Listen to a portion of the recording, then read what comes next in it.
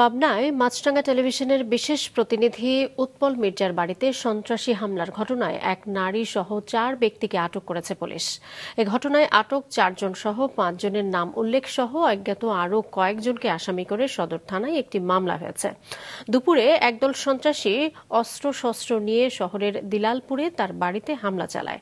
তারা ইটপাটকেল নিক্ষেপ করে গেটের তালা ভেঙে বাড়ির ভেতরে ঢোকার চেষ্টা করে ও প্রাণ নাশের হুমকি দেয়। প্রধানমন্ত্রী ও রাষ্ট্রপতির ছবি সম্বলিত একটি সাইনবোর্ড ঝুলিয়ে বাড়ি দখলেরও চেষ্টা করে দুর্বৃত্তরা। পরে খবর পেয়ে পুলিশ দ্রুত ঘটনাস্থলে গিয়ে হামলাকারীদের মধ্য থেকে চারজনকে আটক করে। তাদের কাছ থেকে চাইনিজ কুড়াল, হাতুড়ি, হাসুয়া সহ দেশীয় বিভিন্ন অস্ত্র জব্দ করা হয়। অতিরিক্ত পুলিশ সুপার মাসুদ আলম জানান, আটককৃতদের জিজ্ঞাসাবাদ এবং হামলার কারণ উদ্ঘাটনের চেষ্টা করছে পুলিশ। চাইনিজ কুড়াল ছিল, কিছু চাকু ছিল। এগুলো সহ কিন্তু আমরা অলরেডি আটক করেছি। তাদেরকে থানায় নিয়ে যা জিজ্ঞাসাবাদ করা হচ্ছে। আসলে জিজ্ঞাসাবাদ করে দেখা মানে আমরা দেখব যে আসলে এর পিছনে কি ছিল বা কারা ছিল, এটা কেন এটা করল, এই ঘটনাগুলো আমরা উদ্ঘাটন করে আজকে আইনগত যা পদক্ষেপ নেওয়ার দরকার, সেটা আমাদের এসপি সাথেও কথা হয়েছে।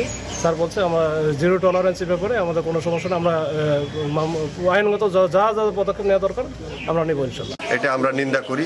আমরা অবিলম্বে এই চক্রের পিছনে যারা রয়েছে, তাদেরকে খুঁজে বের করে দৃষ্টান্তমূলক শাস্তির দাবি করছি। পাশাপাশি মির্জার যে পরিবার এখানে একা পরিবার থাকে তাদের নিরাপত্তা দাবি করছি।